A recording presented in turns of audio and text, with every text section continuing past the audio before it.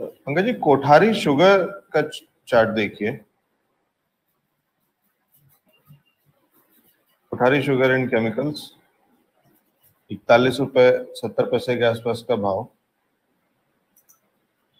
तेज़ी कंटिन्यू होते देखते हैं क्या? और अगर है तो कितने टारगेट्स कहाँ तक?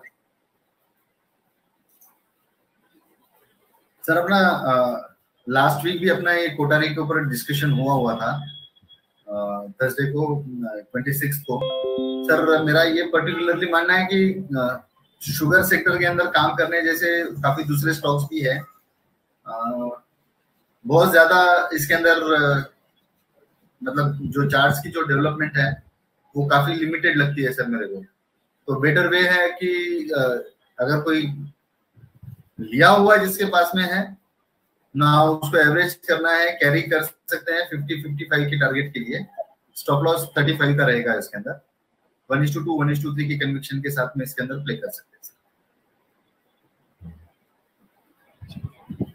सर अगर आपकी इजाज़त हो तो बोल देता हूँ कि जी जी।